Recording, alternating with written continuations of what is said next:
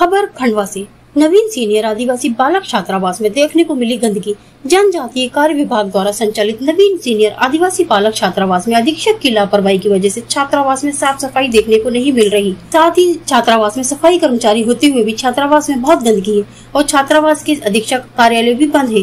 कार्यालय में सर कभी कभी आते हैं और अपनी उपस्थिति बहुत कम देते हैं छात्रावास में। इसलिए छात्रावास में बहुत ज़्यादा गंदगी देखने को मिली।